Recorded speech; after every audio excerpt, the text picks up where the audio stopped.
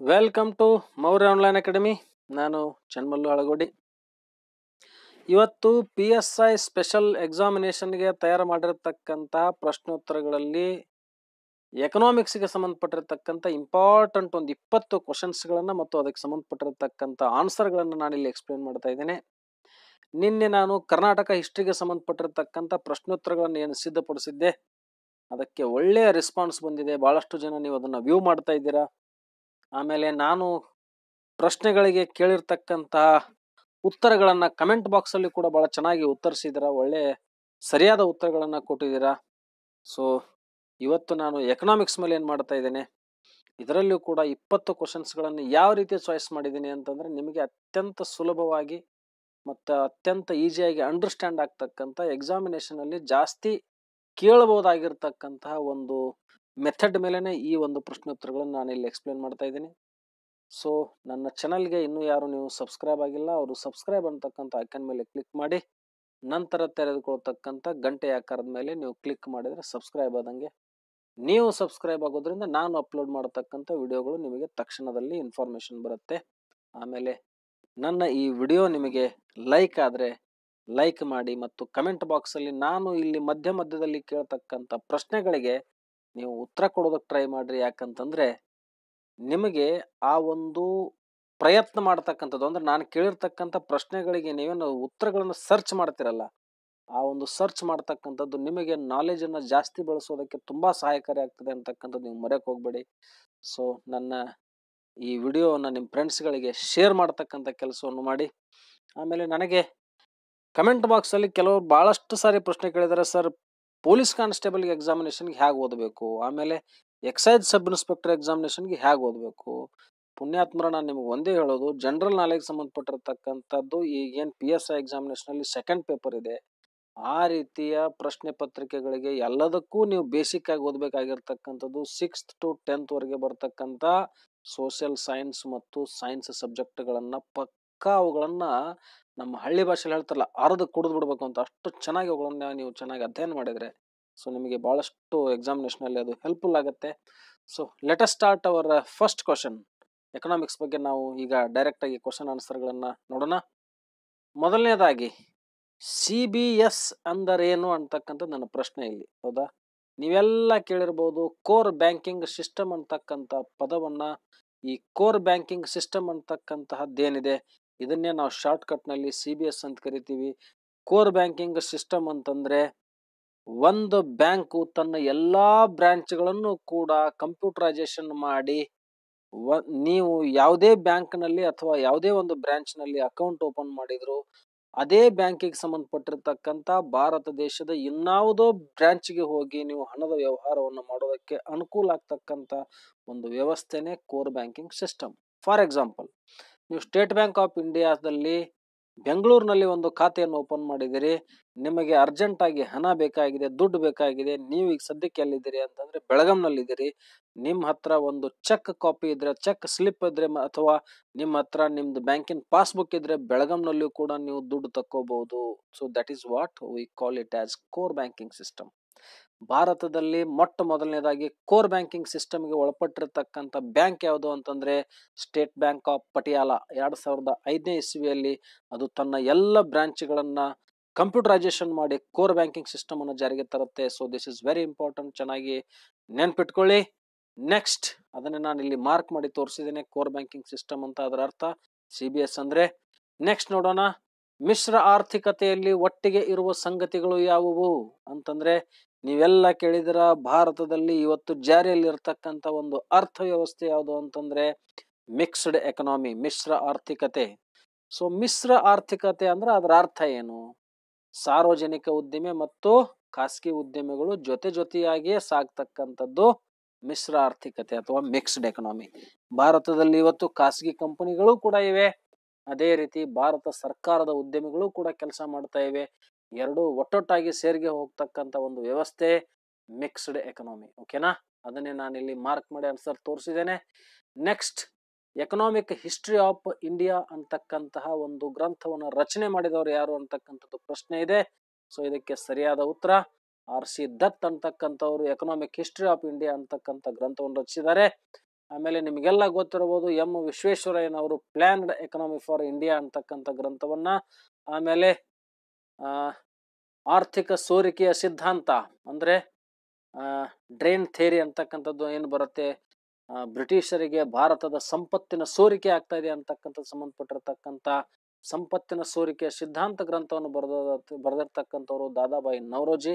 So ಇಲ್ಲಿ ಸರಿಯಾದ ಉತ್ತರ ಯಾವ್ದಾಗತ್ತೆ ಅಂತಂದ್ರೆ, ಆರ್ ಸಿ ದತ್ತ ಆಗತ್ತೆ ಎಕನಾಮಿಕ್ ಹಿಸ್ಟ್ರಿ ಆಫ್ ಇಂಡಿಯಾ ಅಂತಕ್ಕಂಥದ್ದನ್ನು ಬರೆದವರು. ನೆಕ್ಸ್ಟ್ ನೋಡೋಣ.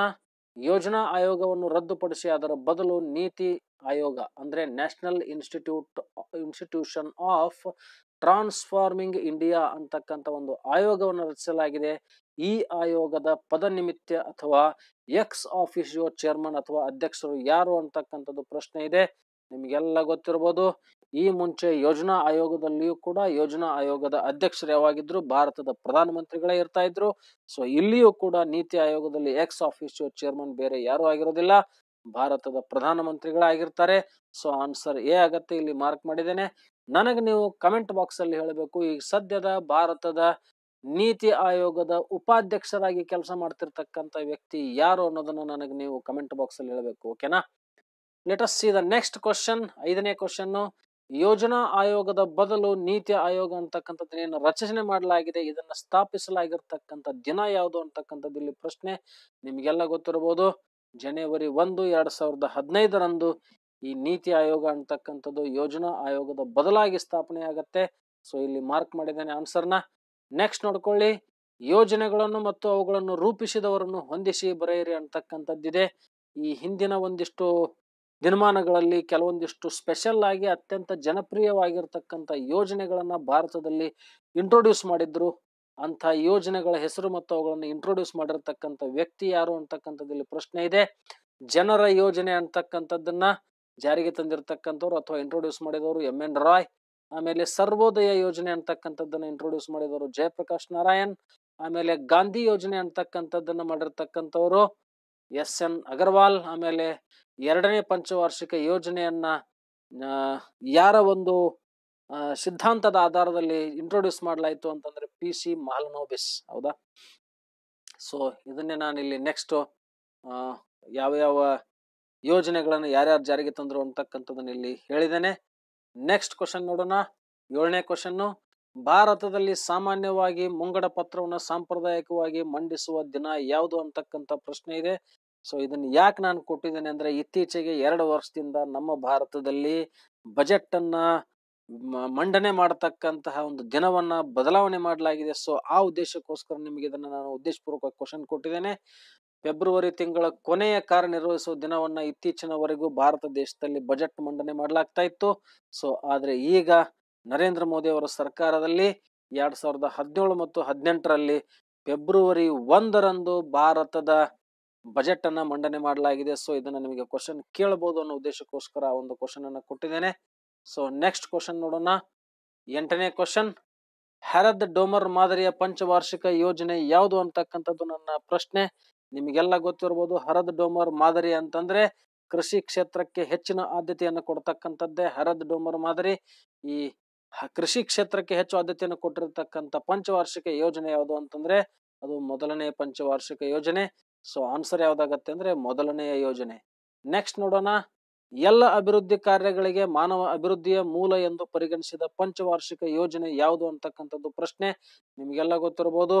ಹ್ಯೂಮನ್ ಡೆವಲಪ್ಮೆಂಟ್ಗೆ ಅತಿ ಹೆಚ್ಚು ಮಹತ್ವವನ್ನು ಕೊಟ್ಟಿರತಕ್ಕಂಥದ್ದು ಎಂಟನೇ ಪಂಚವಾರ್ಷಿಕ ಯೋಜನೆ. ಸೊ ಅದನ್ನ ಚೆನ್ನಾಗಿ ನೆನ್ಪಿಟ್ಕೊಳ್ಳಿ. ಇಲ್ಲಿ ಆನ್ಸರ್ನ ಕೂಡ ಕೊಟ್ಟಿದ್ದೇನೆ. ಎಂಟನೇ ಪಂಚವಾರ್ಷಿಕ ಯೋಜನೆ ಅಂತ. ನೆಕ್ಸ್ಟ್ ಹತ್ತನೇ ಕ್ವಶನ್ ನೋಡೋಣ. ಭಾರತದಲ್ಲಿ ಹಣದುಬ್ಬರ ಪ್ರಮಾಣವನ್ನು ನಿರ್ಧರಿಸಲು ಬಳಸುವ ಮಾನದಂಡ ಯಾವುದು ಅಂತಕ್ಕಂಥದ್ದು ಪ್ರಶ್ನೆ ಇದೆ. ನಿಮಗೆಲ್ಲ ಗೊತ್ತಿರಬಹುದು ಅಟ್ ಪ್ರೆಸೆಂಟ್ ಭಾರತದಲ್ಲಿ ಸರ್ಕಾರ, ಸರ್ಕಾರದ ಮಟ್ಟದಲ್ಲಿ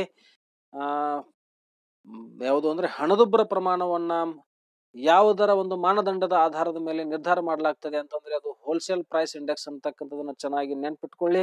ಆದರೆ ರಿಸರ್ವ್ ಬ್ಯಾಂಕ್ ಆಫ್ ಇಂಡಿಯಾ ಏನಿದೆ, ತನ್ನ ಮೋನಿಟರಿ ಪಾಲಿಸಿಯನ್ನ ಅಂದ್ರೆ ಬ್ಯಾಂಕ್ ರೇಟ್ಗಳನ್ನ ಅಂದ್ರೆ ಬಡ್ಡಿ ದರವನ್ನ, ಆಮೇಲೆ ಅದರಲ್ಲಿ ಬರ್ತಕ್ಕಂಥ ಬೇರೆ ಬೇರೆ ರೀತಿಯ ದರಗಳು ಅಂತ ನಾವೇನ್ ಕರಿತೀವಿ, ಹ್ಮ್, ಆ ಒಂದು ಬ್ಯಾಂಕಿಂಗ್ ದರಗಳನ್ನೇನು ಮೇಲಿಂದ ಮೇಲೆ ಬದಲಾವಣೆ ಮಾಡಲಾಗ್ತದೆ. ಅವುಗಳನ್ನ ಬದಲಾವಣೆ ಮಾಡಬೇಕಾದ್ರೆ ಈ ಸಗಟು ಬೆಲೆ ಸೂಚ್ಯಾಂಕವನ್ನ ಆಧರಿಸಿ ರಿಸರ್ವ್ ಬ್ಯಾಂಕ್ ಬದಲಾವಣೆ ಮಾಡೋದಿಲ್ಲ. ಅದರ ಬದಲಾವಣೆಯನ್ನು ಮಾಡಬೇಕಾದ್ರೆ ಅದು ಅನುಸರಿಸ್ತಕ್ಕಂಥದ್ದು ಕನ್ಸ್ಯೂಮರ್ ಪ್ರೈಸ್ ಇಂಡೆಕ್ಸ್ ಅದನ್ನು ಚೆನ್ನಾಗಿ ನೆನ್ಪಿಟ್ಕೊಳ್ಳಿ. ರಿಸರ್ವ್ ಬ್ಯಾಂಕ್ ಆಫ್ ಇಂಡಿಯಾ ತನ್ನ ಹಣಕಾಸು ನೀತಿಯನ್ನ ಬದಲಾವಣೆ ಮಾಡಬೇಕಾದ್ರೆ, ಜಾರಿಗೆ ತರಬೇಕಾದ್ರೆ ಅದು ಯಾವುದನ್ನು ಆದರ್ಶ ಜಾರಿಗೆ ತರುತ್ತೆ ಅಂದ್ರೆ ಕನ್ಸ್ಯೂಮರ್ ಪ್ರೈಸ್ ಇಂಡೆಕ್ಸ್ ಆದರೆ ಭಾರತ ಸರ್ಕಾರ ಹಣದುಬ್ಬರ ಪ್ರಮಾಣವನ್ನು ನಿರ್ಧರಿಸೋದಕ್ಕೆ ಬಳಸ್ತಕ್ಕಂಥದ್ದು ಹೋಲ್ಸೇಲ್ ಪ್ರೈಸ್ ಇಂಡೆಕ್ಸ್ ಅಂತಕ್ಕಂಥದ್ದು ನೀವು ಚೆನ್ನಾಗಿ ನೆನ್ಪಿಟ್ಕೊಳ್ಳಿ. ಅದನ್ನ ಇಲ್ಲಿ ನಾನು ಮಾರ್ಕ್ ಮಾಡಿ ತೋರಿಸಿದ್ದೇನೆ. ನೆಕ್ಸ್ಟ್ ನೋಡೋಣ. ಇವುಗಳಲ್ಲಿ ಕೇಂದ್ರ ಸರ್ಕಾರದ ಸಂಪೂರ್ಣ ನಿಯಂತ್ರಣಕ್ಕೊಳಪಟ್ಟ ಏಕೈಕ ಉದ್ದಿಮೆ ಯಾವುದು ಅಂತಕ್ಕಂಥದ್ದು ಪ್ರಶ್ನೆ.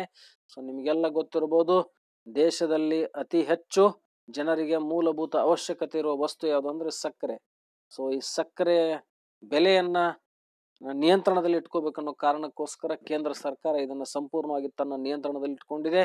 ನಿಮಗೆಲ್ಲ ಗೊತ್ತಿರಬಹುದು ಎಫ್ ಆರ್ ಪಿ ಪ್ರೈಸ್ ಅಂತಕ್ಕಂಥದ್ದು ಕಬ್ಬಿನ ಬೆಲೆಯನ್ನ ನಿಗದಿಪಡಿಸ್ತಕ್ಕಂಥ ಅಧಿಕಾರ ಇರೋದು ಯಾರಿಗೆ ಅಂತಂದ್ರೆ ಕೇಂದ್ರ ಸರ್ಕಾರಕ್ಕೆ. ಸೊ ಅದಕ್ಕೆ ಇಲ್ಲಿ ಸಕ್ಕರೆ ಅಂತಕ್ಕಂಥದ್ದನ್ನು ನಾನು ಮಾರ್ಕ್ ಮಾಡಿದ್ದೇನೆ. ನೆಕ್ಸ್ಟ್ ಭಾರತದ ಹಸಿರು ಕ್ರಾಂತಿಯ ಪಿತಾಮಹ ಎಂದು ಯಾರನ್ನು ಕರೆಯಲಾಗ್ತದೆ ಅಂತಕ್ಕಂಥದ್ದು ಪ್ರಶ್ನೆ. ಎಂ ಎಸ್ ಸ್ವಾಮಿನಾಥನ್ ಹತ್ತೊಂಬತ್ ನೂರ ಅರವತ್ತ್ ಮೂರರಲ್ಲಿ ಇವರು Indian agriculture research institute in ಡೆಲ್ಲಿಯಲ್ಲಿದೆ ಅದರ ಒಂದು ಮುಖ್ಯಸ್ಥರಾಗಿ ನೇಮಕವಾಗ್ತಾರೆ. ಇವರು ನೇಮಕವಾದ ಮೇಲೇ ಈ ಒಂದು ಹೊಸ ಬದಲಾವಣೆ ಭಾರತದಲ್ಲಿ ಬರ್ತದೆ. ಹತ್ತೊಂಬತ್ ನೂರ ಅರವತ್ತ್ ನಾಲ್ಕರಲ್ಲಿ ಜವಾಹರ್ಲಾಲ್ ನೆಹರು ತೀರ್ಕೊಂಡ ಮೇಲೆ ಲಾಲ್ ಬಹದ್ದೂರ್ ಶಾಸ್ತ್ರಿ ಅವರು ಪ್ರೈಮ್ ಮಿನಿಸ್ಟರ್ ಆಗ್ತಾರೆ. ಹ್ಮ್ ಸೊ ಅವರ ಒಂದು ಮಾರ್ಗದರ್ಶನದಲ್ಲಿ ಸಿ ಸುಬ್ರಹ್ಮಣ್ಯಂ ಅಂತಕ್ಕಂಥ ಒಬ್ಬ ವ್ಯಕ್ತಿ ಏನು ಅಂತಂದ್ರೆ ಭಾರತದ ಫುಡ್ ಅಂಡ್ ಅಗ್ರಿಕಲ್ಚರ್ನ ಮಿನಿಸ್ಟರ್ ಆಗ್ತಾರೆ ಸಚಿವರಾಗ್ತಾರೆ ಸೊ ಅವರು, ಇಬ್ರು ಮತ್ತು ಈ ಎಂ ಎಸ್ ಸ್ವಾಮಿನಾಥನ್ ಮೂರು ಜನ ಸೇರ್ಕೊಂಡು ಮಾಡಿರ್ತಕ್ಕಂಥ ಒಂದು ಕ್ರಾಂತಿ ಯಾವುದು ಅಂದ್ರೆ ಹಸಿರು ಕ್ರಾಂತಿ. ಹಸಿರು ಕ್ರಾಂತಿ ಅಂದ್ರೆ ಏನು ನಿಮಗೆಲ್ಲ ಗೊತ್ತಿರ್ಬೋದು? ನಾರ್ಮನ್ ಬೋರ್ಲಾಗ್ ಅವರು ಹಸಿರು ಕ್ರಾಂತಿಯ ಜಗತ್ತಿನ ಪಿತಾಮಹ ಅಂತ ನಾವೇನು ಕರಿತೀವಿ? ಮೆಕ್ಸಿಕೋದಲ್ಲಿ ಒಂದು ಸಂಶೋಧನೆ ಮಾಡಿರತಕ್ಕಂಥ ಗಿಡ್ಡ ತಳಿಯ ಗೋಧಿ ತಳಿ ಅಂತ ನಾವೇನು ಕರಿತೀವಿ? ಆ ಗೋಧಿ ತಳಿಯನ್ನ ಭಾರತದಲ್ಲಿ ಮೊಟ್ಟ ಮೊದಲನೇದಾಗಿ ಪಂಜಾಬ್ ರಾಜ್ಯದಲ್ಲಿ ಬಳಕೆ ಮಾಡಿ ಹಸಿರು ಕ್ರಾಂತಿಯನ್ನ ಸಕ್ಸಸ್ ಮಾಡಲಾಗ್ತದೆ. ಸೊ ಇದನ್ನು ಚೆನ್ನಾಗಿ ನೆನ್ಪಿಟ್ಕೊಳ್ಳಿ. ಎಂ. ಎಸ್. ಸ್ವಾಮಿನಾಥನ್ ಹಸಿರು ಕ್ರಾಂತಿಯ ಪಿತಾಮಹ. ಆ ಸಂದರ್ಭದಲ್ಲಿ ಪ್ರೈಮ್ ಮಿನಿಸ್ಟರ್ ಯಾರಾಗಿದ್ರು ಅಂತಂದ್ರೆ ಮೊರಾರ್ಜಿ ದೇಸಾಯಿ ಅವರು.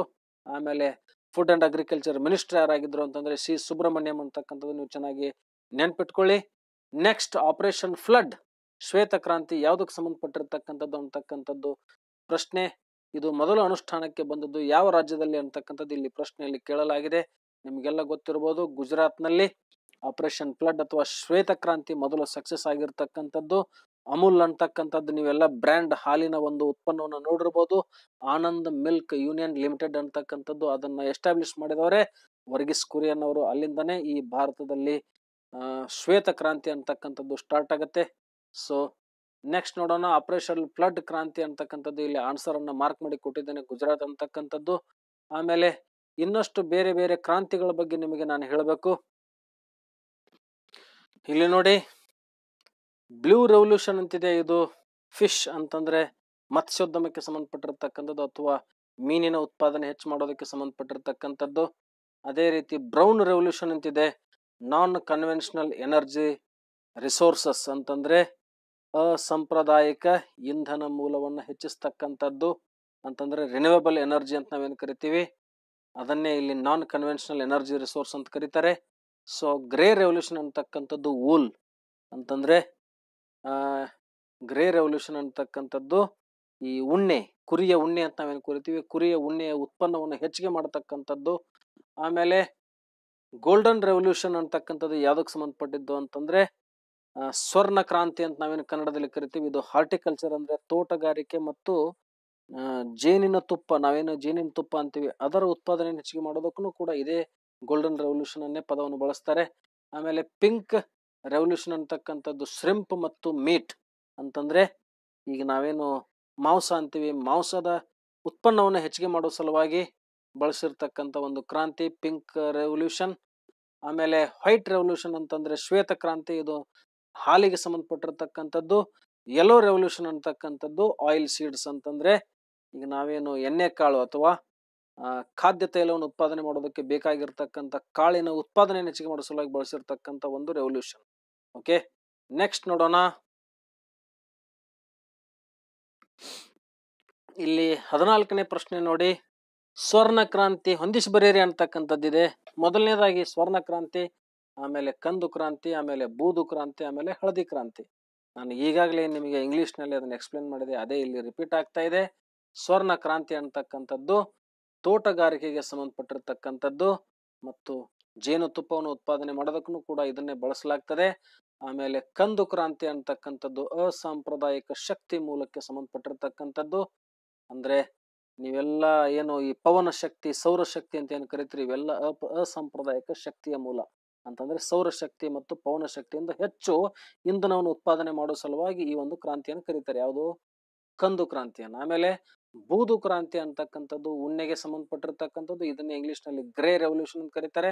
ಆಮೇಲೆ ಹಳದಿ ಕ್ರಾಂತಿ, ಎಣ್ಣೆ ಕಾಳಿಗೆ ಸಂಬಂಧಪಟ್ಟಿರ್ತಕ್ಕಂಥದ್ದು. ನೆಕ್ಸ್ಟ್ ಆನ್ಸರ್ನ ನಾನು ಇಲ್ಲಿ ರೈಟ್ ಮಾರ್ಕ್ ಮಾಡಿ ಕೊಟ್ಟಿದ್ದೇನೆ. ನೆಕ್ಸ್ಟ್ ಹದಿನೈದನೇ ಪ್ರಶ್ನೆಯನ್ನು ನೋಡೋಣ.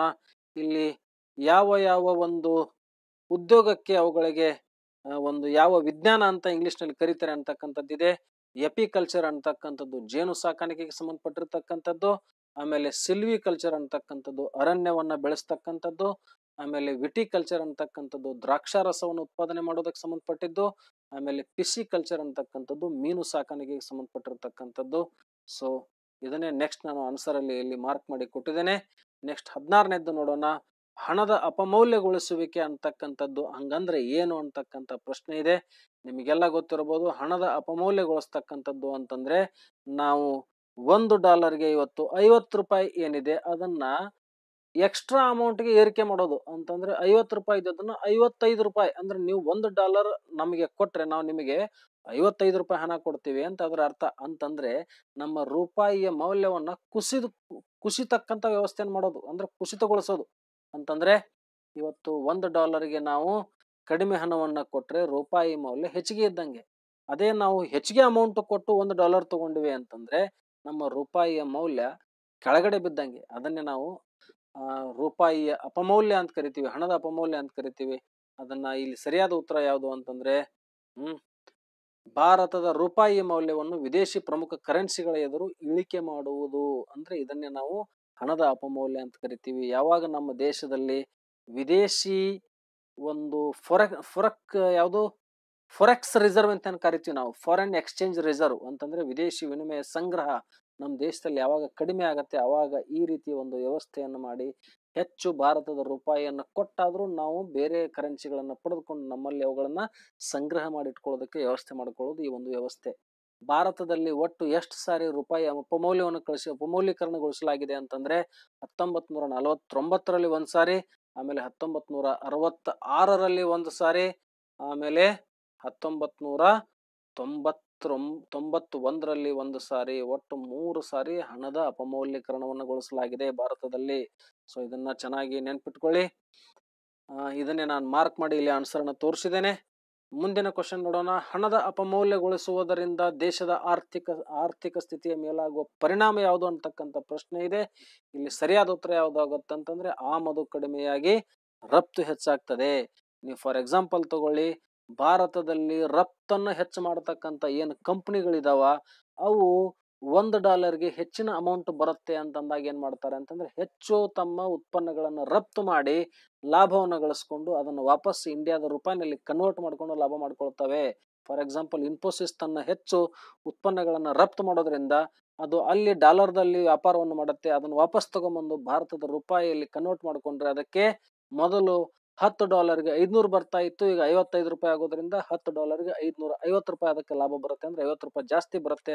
ಸೊ ಇದರಿಂದ ಎಕ್ಸ್ಪೋರ್ಟ್ ಜಾಸ್ತಿ ಆಗುತ್ತೆ ಅನ್ನೋದು ನೀವು ಚೆನ್ನಾಗಿ ನೆನ್ಪಿಟ್ಕೊಳ್ಳಿ. ನೆಕ್ಸ್ಟ್ ನೋಡೋಣ. ಎಫ್ ಐ ಐ ಎಂದರೇನು? ಎಫ್ ಐ ಐ ಅಂತಕ್ಕಂಥ ಹೆಸರು ನೀವೆಲ್ಲ ಕೇಳಿರ್ತೀರಿ. ಫಾರೆನ್ ಇನ್ಸ್ಟಿಟ್ಯೂಷನಲ್ ಇನ್ವೆಸ್ಟರ್ಸ್ ಅಂದ್ರೆ ಬೇರೆ ದೇಶಗಳಿಂದ ಬಂದು ಭಾರತದಲ್ಲಿ ಈ ಕ್ಯಾಪಿಟಲ್ ಮಾರ್ಕೆಟ್ ಅಥವಾ ಬಂಡವಾಳ ಮಾರುಕಟ್ಟೆ ಅಂತ ನಾವೇನು ಕರಿತೀವಿ ಅಥವಾ ಶೇರ್ ಮಾರ್ಕೆಟ್ ಅಂತ ನೀವೇನು ಕರಿತೀವಿ, ಆ ಶೇರ್ ಮಾರ್ಕೆಟ್ನಲ್ಲಿ ಬಂದು ಹಣವನ್ನ ಇನ್ವೆಸ್ಟ್ ಮಾಡ್ತಕ್ಕಂಥವ್ರಿಗೆ ಫಾರಿನ್ ಇನ್ಸ್ಟಿಟ್ಯೂಷನಲ್ ಇನ್ವೆಸ್ಟರ್ಸ್ ಅಂತ ಕರೀತಾರೆ. ಅವರನ್ನೇ ಎಫ್ ಐ ಐಸ್ ಅಂತ ಕೂಡ ಕರೀತಾರೆ. ಸೊ ಇದನ್ನ ಚೆನ್ನಾಗಿ ನೆನ್ಪಿಟ್ಕೊಳ್ಳಿ. ಎಫ್ ಡಿ ಐ ಅಂತಂದ್ರೆ foreign direct investment F I I ಅಂದ್ರೆ foreign institutional investors F D ಐದಿಂದ ಏನಾಗುತ್ತೆ ಅಂದ್ರೆ ಭಾರತದಲ್ಲಿ ಅವರು ಯಾವ್ದಾದ್ರು ಒಂದು ಕಾರ್ಖಾನೆ ಅಥವಾ ಯಾವುದಾದ್ರೂ ಒಂದು ಬಂಡವಾಳ ಸೃಷ್ಟಿ ಮಾಡೋದಕ್ಕೆ, ಕಾರ್ಖಾನೆಯನ್ನು ಸ್ಥಾಪನೆ ಮಾಡೋದಕ್ಕೆ ಅಥವಾ ಯಾವುದಾದ್ರೂ ಕಟ್ಟಡವನ್ನು ನಿರ್ಮಾಣ ಮಾಡೋದಕ್ಕೆ ಇನ್ವೆಸ್ಟ್ಮೆಂಟ್ ಮಾಡ್ತಾರೆ. ಅಂದ್ರೆ ಒಂದು ಸಾರಿ ಇನ್ವೆಸ್ಟ್ಮೆಂಟ್ ಮಾಡಿದ್ರೆ ತಕ್ಷಣ ವಾಪಸ್ ತಗೊಳಕ್ ಆಗೋದಿಲ್ಲ. ಬಟ್ ಇಲ್ಲಿ ಎಫ್ ಐ ನಲ್ಲಿ ಏನಾಗುತ್ತೆ ಅಂತಂದ್ರೆ ಶೇರ್ ಮಾರ್ಕೆಟ್ ಅಲ್ಲಿ ಹಾಕಿರ್ತಾರೆ. ಯಾವಾಗ ಬೇಕಾದಾಗ ಅವ್ರು ವಾಪಸ್ ತಕ್ಕೋಬಹುದು ತಕ್ಷಣದಲ್ಲಿ ಹಣವನ್ನು ವಿತ್ಡ್ರಾ ಮಾಡ್ಕೋಬಹುದು ಸೊ ಎಫ್ ಐ ಐ ನಲ್ಲಿ ಭಾರತ ದೇಶದಲ್ಲಿ ಹೆಚ್ಚು ಆಸ್ತಿ ಸೃಷ್ಟಿ ಮಾಡಕ್ ಆಗುದಿಲ್ಲ. ಅಂತಂದ್ರೆ ಶೇರ್ ಮಾರ್ಕೆಟ್ ಅಲ್ಲಿ ಇನ್ವೆಸ್ಟ್ಮೆಂಟ್ ಮಾಡಿರ್ತಾರೆ, ವಾಪಸ್ ಸಡನ್ ಆಗಿ ವಾಪಸ್ಸನ್ನ ಇವತ್ತು ಅವರು ಹೂಡಿಕೆ ಮಾಡಿ ಒಂದ್ ತಿಂಗಳಿಗೆ ವಾಪಸ್ಸನ್ನ ತಕೊಂಡ್ಬಿಡ್ಬೋದು. ಆದ್ರೆ ಎಫ್ ಡಿ ಐ ನಲ್ಲಿ ಹಂಗಾಗಂಗಿಲ್ಲ. ಒಂದ್ಸರಿ ಇನ್ವೆಸ್ಟ್ಮೆಂಟ್ ಮಾಡಿದ್ರೆ ಇಲ್ಲೇ ಕಾರ್ಖಾನೆಗಳನ್ನ, ಯಂತ್ರಗಳನ್ನ, ಕೈಗಾರಿಕೆಗಳನ್ನ ಸ್ಥಾಪನೆ ಮಾಡ್ಬೇಕಾಗತ್ತೆ. So that is long term but F I I ಅಂತಕ್ಕಂಥದ್ದು ಇಟ್ ಈಸ್ ಅನ್ಕಂಡೀಷನಲ್ ಅಂದ್ರೆ ಅದು ಲಾಂಗ್ ಟರ್ಮ್ ಆಗಿರ್ಬೋದು ಶಾರ್ಟ್ ಟರ್ಮ್ ಆಗಿರ್ಬೋದು. ಓಕೆನಾ ನೆಕ್ಸ್ಟ್ ನೋಡೋಣ. ಇಲ್ಲಿ ಕೆಲವೊಂದಿಷ್ಟು ಇಂಪಾರ್ಟೆಂಟ್ ಇಂಟ್ರೊಡಕ್ಷನ್ ಆಗಿರ್ತಕ್ಕಂಥ ಕಾಯ್ದೆಗಳು ಮತ್ತು ನೀತಿಗಳಿಗೆ ಸಂಬಂಧಪಟ್ಟಿರ್ತಕ್ಕಂಥದ್ದು ಅವು ಎಷ್ಟನೇ ಇಸ್ವಿಯಲ್ಲಿ ಆಯ್ದು ಅಂತಕ್ಕಂಥದ್ದನ್ನು ಹೋಲಿಕೆ ಮಾಡೋದಿದೆ. ಕಿಸಾನ್ ಕ್ರೆಡಿಟ್ ಕಾರ್ಡ್ ಅನ್ನ ಫಸ್ಟ್ ಇಂಟ್ರೊಡ್ಯೂಸ್ ಮಾಡಿರ್ತಕ್ಕಂಥದ್ದು ಎಷ್ಟನೇ ಇಸ್ವಿ ನಿಮಗೆಲ್ಲ ಗೊತ್ತಿದೆ? ಹತ್ತೊಂಬತ್ ನೂರ ತೊಂಬತ್ತೆಂಟರಲ್ಲಿ ಆಮೇಲೆ ರಾಷ್ಟ್ರೀಯ ಕೃಷಿ ನೀತಿ ಅಂತಕ್ಕಂಥ ಜಾರಿಗೆ ಬಂದಿದ್ದು ಎರಡ್ ಸಾವಿರನೇ ಇಸ್ವಿಯಲ್ಲಿ ಹೊಸ ಆರ್ಥಿಕ ನೀತಿ ಬಂದಿದ್ದು ಹತ್ತೊಂಬತ್ ನೂರ ತೊಂಬತ್ತೊಂದರಲ್ಲಿ ಆಮೇಲೆ ಗ್ರಾಹಕ ರಕ್ಷಣಾ ಕಾಯ್ದೆ ಹತ್ತೊಂಬತ್ ನೂರ ಎಂಬತ್ತಾರರಲ್ಲಿ ಸೊ ಈ ನಾಲ್ಕು ಇಸ್ವಿಗಳನ್ನ ಚೆನ್ನಾಗಿ ನೆನ್ಪಿಟ್ಕೊಳ್ಳಿ. ಅದನ್ನೇ ನಾನು ಇಲ್ಲಿ ಆನ್ಸರ್ನ ಮಾರ್ಕ್ ಮಾಡಿದ್ದೇನೆ. ಲಾಸ್ಟ್ ಕ್ವಶನ್ ಪರಸ್ಪರ ವಿನಿಯೋಗ ನಿಧಿ ಮ್ಯೂಚುವಲ್ ಫಂಡ್ ಸ್ಥಾಪಿಸಿರುವ ಉದ್ದೇಶ? ನಿಮಗೆಲ್ಲ ಗೊತ್ತಿರಬಹುದು ಯುನಿಟ್ ಟ್ರಸ್ಟ್ ಆಫ್ ಇಂಡಿಯಾ ಅಂತಕ್ಕಂಥದ್ದು ಭಾರತದಲ್ಲಿ ಮೊಟ್ಟ ಮೊದಲನೇದಾಗಿ ಸ್ಥಾಪನೆ ಆಗಿರ್ತಕ್ಕಂತಹ ಒಂದು ಮ್ಯೂಚುವಲ್ ಫಂಡ್ ಸಂಸ್ಥೆ. ಸೊ ಅದನ್ನ ಹತ್ತೊಂಬತ್ ನೂರ ಮೇ ಬಿ ಅರವತ್ಮೂರು ಅಥವಾ ಅರವತ್ನಾಲ್ಕನೇ ಇಸ್ವಿಯಲ್ಲಿ ಏನು ಭಾರತದಲ್ಲಿ ಸ್ಥಾಪನೆ ಮಾಡಲಾಗ್ತದೆ ಯೂನಿಟ್ ಟ್ರಸ್ಟ್ ಆಫ್ ಇಂಡಿಯಾ. ಅದೇ ಭಾರತದ ಮೊಟ್ಟ ಮೊದಲನೆಯ ಮ್ಯೂಚುವಲ್ ಫಂಡ್ ಸಂಸ್ಥೆ. ಸೊ, ಈಗ ಅದನ್ನ ಯಾವ ಹೆಸರಿನಿಂದ ಕರೆಯಲಾಗ್ತದೆ ಅಥವಾ ಯಾವ ಬ್ಯಾಂಕ್ ಆಗಿ ಅದು ಪರಿವರ್ತನೆ ಆಗಿದೆ ಅಂತಕ್ಕಂಥದ್ದು ನನಗೆ ನೀವು ಕಮೆಂಟ್ ಬಾಕ್ಸ್ ಅಲ್ಲಿ ಹೇಳಬೇಕು. ಸೊ, ಈ ಪರಸ್ಪರ ವಿನಿಯೋಗ ನಿಧಿ ಮ್ಯೂಚುವಲ್ ಫಂಡ್ ಸ್ಥಾಪಿಸಿರುವ ಉದ್ದೇಶ ಏನು ಅಂತಕ್ಕಂಥದ್ದು ಇಲ್ಲಿ ಪ್ರಶ್ನೆ ಇದೆ. ಅದಕ್ಕೆ ಸರಿಯಾದ ಉತ್ತರ, ಸಣ್ಣ ಹೂಡಿಕೆದಾರರ ಹಿತಾಸಕ್ತಿಯನ್ನು ಕಾಪಾಡೋದು ಅಂತಕ್ಕಂಥದ್ದು. ಸೊ, ಮ್ಯೂಚುವಲ್ ಫಂಡಿನ ಉದ್ದೇಶ ಏನು ಅಂತಂದ್ರೆ, ನಾವು ಶೇರ್ ಮಾರ್ಕೆಟ್ ಅಲ್ಲಿ ನಮಗೆ ಅದರ ಬಗ್ಗೆ ಕಂಪ್ಲೀಟ್ ನಾಲೆಜ್ ಇರೋದಿಲ್ಲ. ಯಾವ ಶೇರ್ನಲ್ಲಿ ನಲ್ಲಿ ಹಣವನ್ನು ತೊಡಗಿಸಬೇಕು ಅಂತಕ್ಕಂಥದ್ದು. ಸೊ ನಮ್ಮ ಪರವಾಗಿ ಈ ಕಂಪನಿಗಳು ನಮ್ಮ ಪರವಾಗಿ ಹಣವನ್ನು ಇನ್ವೆಸ್ಟ್ಮೆಂಟ್ ಮಾಡಿ ನಮಗೆ ಲಾಭವನ್ನು ಮಾಡಿಕೊಡ್ತಕ್ಕಂಥ ಕೆಲಸವನ್ನು ಮಾಡ್ತವೆ. ಅವುಗಳನ್ನೇ ನಾವು ಮ್ಯೂಚುವಲ್ ಫಂಡ್ ಕಂಪನಿಗಳಂತ ಕರಿತೀವಿ. ಸೊ ಇದಕ್ಕೆ ಸರಿಯಾದ ಆನ್ಸರ್ ಸಣ್ಣ ಹೂಡಿಕೆದಾರರ ಹಿತಾಸಕ್ತಿಯನ್ನು ಕಾಪಾಡ್ತಕ್ಕಂಥದ್ದು. ಸೊ ಇಲ್ಲಿಗೆ ನಾನು ಇಪ್ಪತ್ತು ಕ್ವಶನ್ಸ್ಗಳನ್ನು ಕಂಪ್ಲೀಟ್ ಮಾಡ್ತಾ ಇದ್ದೇನೆ. ಈ ಎಕನಾಮಿಕ್ಸ್ಗೆ ಸಂಬಂಧಪಟ್ಟಿರ್ತಕ್ಕಂಥ ಮಧ್ಯ ಮಧ್ಯದಲ್ಲಿ ನಾನು ಕೇಳಿರ್ತಕ್ಕಂಥ ಪ್ರಶ್ನೆಗಳಿಗೆ ಕಮೆಂಟ್ ಬಾಕ್ಸ್ದಲ್ಲಿ ಸರಿಯಾಗಿ ಉತ್ತರವನ್ನು ನೀಡಿ. ಸೊ ನಿಮಗೆ ನಾನು ಎಕ್ಸ್ಪ್ಲೇನ್ ಮಾಡ್ತಕ್ಕಂಥ ಈ ವಿಡಿಯೋ ತುಂಬ ಹೆಲ್ಪ್ಫುಲ್ ಆಗ್ತಾ ಇದೆ ಅಂತಕ್ಕಂಥ ಒಂದು ಭಾವನೆಯನ್ನು ಇಟ್ಕೊಂಡು ನನ್ನ ಈ ವಿಡಿಯೋನ ಇಲ್ಲಿಗೆ ಮುಗಿಸ್ ಮುಕ್ತಾಯ ಮಾಡ್ತಾ ಇದ್ದೇನೆ. Tomorrow I will come with one new another video till then wait for me bye thank you